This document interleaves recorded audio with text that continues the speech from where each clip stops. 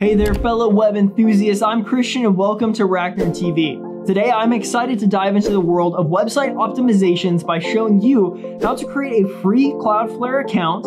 If you're not familiar with Cloudflare, think of it as your website's guardian angel, providing security, speed, and reliability. Now let's go ahead and dive in.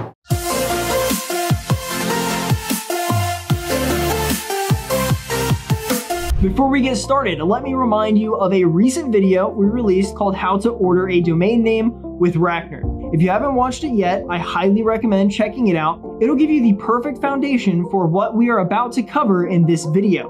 Alright, let's talk about Cloudflare. First off, why should you use it? Well, besides the fact that it is free, Cloudflare acts as a content delivery network, or a CDN, which means it stores copies of your website on servers around the world. This makes your site load faster for visitors no matter where they are. Plus, Cloudflare offers other security features like DDoS protection and SSL encryption, keeping your website completely safe from cyber threats. Now onto the nitty gritty, setting up your Cloudflare account. Remember, you'll need an existing domain or website to proceed. If you don't have one yet, head over to racknerd.com to snag a domain name. So let me share my screen here and let's get started with the tutorial. First, go to cloudflare.com. This is Cloudflare's official website and sign up for a free account. It's quick and painless, I promise. After signing up, Cloudflare will prompt you to add your website. Simply enter your domain name and just follow the on-screen instructions as you go to register your account.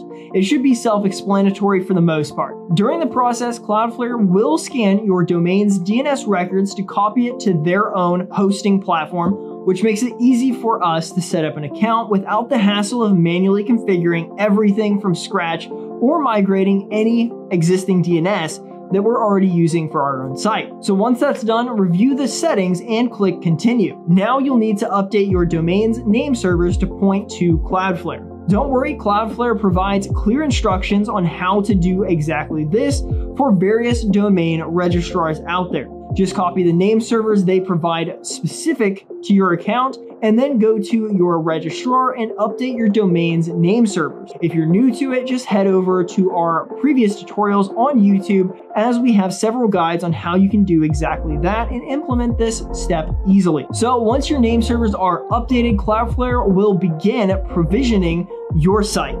This can take a few minutes, so please be patient. You are free to navigate away from Cloudflare's site during this process. Cloudflare will email you as soon as you are all set and ready to go. Once you receive the email, you should be all set. I also suggest you explore your account and review reliable guides online on how to manage your Cloudflare account before diving into any other integration. In our next tutorial, we will discuss how you can use and set up Cloudflare to optimize your website and take advantage of its full potential the right way. So stay tuned. And that's it, your website is now protected and optimized using Cloudflare. Pretty simple, right? Before we wrap up, don't forget to visit RackNerd.com for all of your domain and hosting needs. At Racnerd, we've got everything you need to get your website up and running smoothly.